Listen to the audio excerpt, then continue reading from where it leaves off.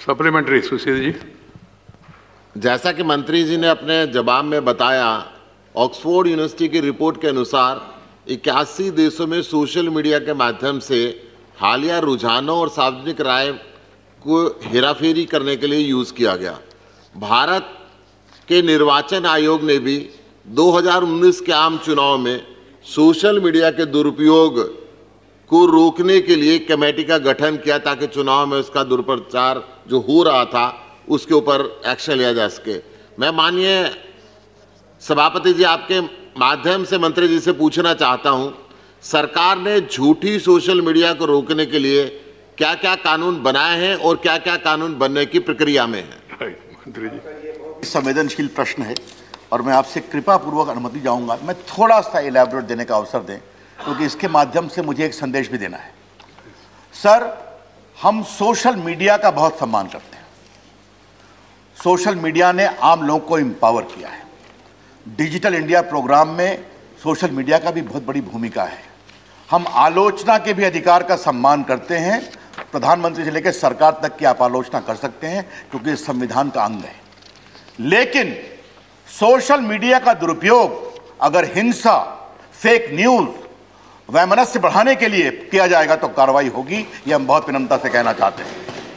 Sir, दूसरी बात, हम भारत के चुनाव की प्रक्रिया को बहुत ही आदर से लेते हैं और चुनाव आयोग ने बहुत ही बढ़िया काम किया है। अगर सोशल मीडिया का दुरुपयोग करके कोई चुनाव को भ्रष्टाचार से प्रभावित करने की कोशिश करेगा तो सख्त कार्रवाई की जाएगी यह भी हम कहना चाहते हैं। और उसमें चुनाव आयोग के साथ साथ सरकारें भी काम करेंगी। जहाँ तक आप फेक न्यूज़ का सवाल है, सर। मित्रवर प्रकाश जी यहाँ बैठे हुए हैं, सर। एक फेक न्यूज़ को बस्ट करने का हमने प्लेटफॉर्म बनाया हुआ है। और जो फेक न्यूज़ डालते हैं, तुरंत उसका करेक्शन भी यहीं आ जाता है।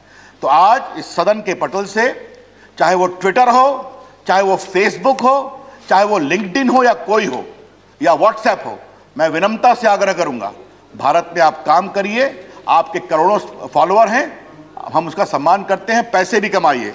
लेकिन भारत के संविधान को आपको पालन करना होगा।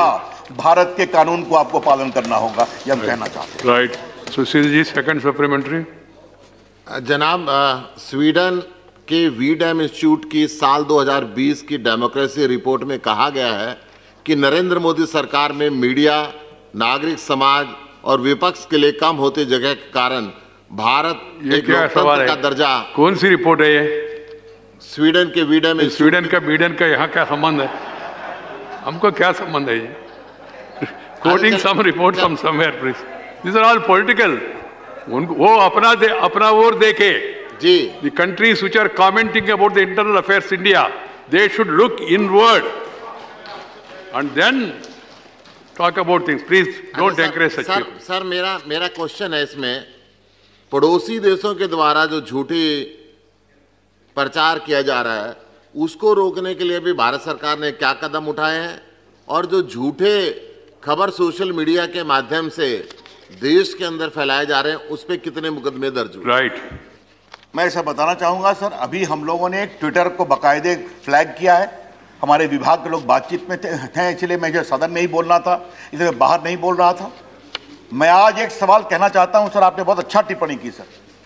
ऐसा क्या है सर कि मुंबई वॉशिंगटन के कैपिटल हिल पर जब रैंसैकिंग होती है, पुलिस को कार्रवाई करना पड़ता है तो कुछ ये माइक्रो ब्लॉगिंग कंपनियाँ उसके साथ खड़ी हो जाती हैं। और जब यहाँ पर लाल किले पर हमला होता है, जो भारत की गरिमा का प्रतीक है तो उसके विरोध में खड़ी हो जाती है। ये डबल स्टैंडर्ड नहीं चलेगा। ये सारी कंपनियाँ जान लें। हम भारत के संविधान में फ्रीडम ऑफ़ स्पीच है। लेकिन 19 टू में यह भी लिखा हुआ है it is subject to reasonable restriction because of sovereignty integrity of India ये क्या मज़ाक है? कि आप नरेंद्र मोदी मैसेकर ऑफ़ किसान हैशटैग करते हैं, इसका मतलब क्या है? तो सर, आप वैमनस्य ना फैलाएँ, आप हिंसा ना फैलाएँ, झूठी खबरें ना फैलाएँ, और भारत के संविधान और भारत के कानून का पालन करें, इसमें हम बहुत ही सख्त रहेंगे। Right. श्री विनय सहस्त्र बुद्धे श्री विनय सहस्त्र बुद्धे सोशल मीडिया और मीडिया में एक महत्वपूर्ण फ़र्क यह है कि सोशल मीडिया में हमें अपनी जो बात कहनी है, उसकी पूरी स्वाधीनता होती है।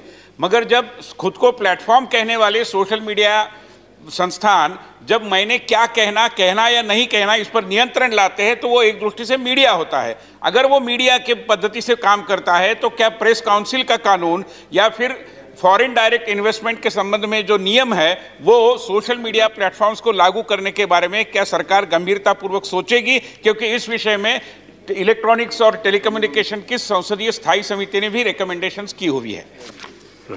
उस स्टैंडिंग कमेटी के अनुशंसाओं का ज्ञान है।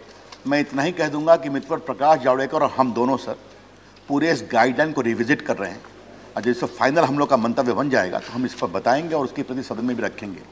एक बात जो मानी सदस्य ने कही है, सर, वो बहुत ही महत्वपूर्ण बात है कि आप जब एक प्लेटफॉर्म बनते हैं तो आप अपना एक स्वयं का कानून बनाते हैं कि उसी से हम जांचेंगे कि क्या सही है, गलत है, और उसमें भारत के संविधान और भारत के कानून की जगह नहीं होगी तो ये तो नहीं चलेगा।